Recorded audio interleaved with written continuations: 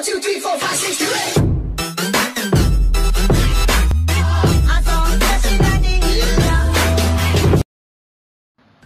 नकारात्मक सोच सोच सोच सोच नेगेटिव थिंकिंग थिंकिंग क्यों उठती है दिमाग में?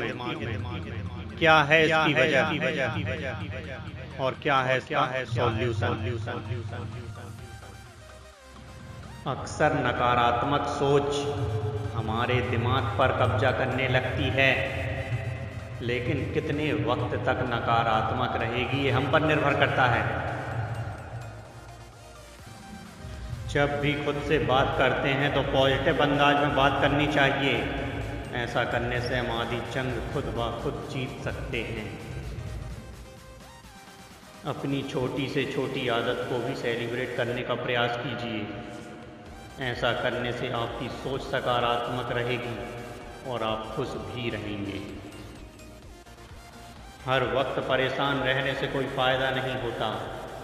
खुद को हंसने, मुस्कुराने की आज़ादी दीजिए।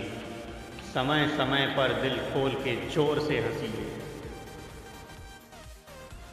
मुश्किल काम करने के लिए हमेशा तैयार रहिए। इससे हमारी सोच सकारात्मक होती है।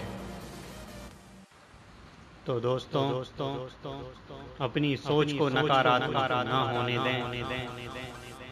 अपनी सोच को हमेशा सकारात्मक ही रखें। नकारात्मक सोच वाले वाले वाले कभी सफलता प्राप्त नहीं करते। धन्यवाद धन्यवाद। धन्यवाद।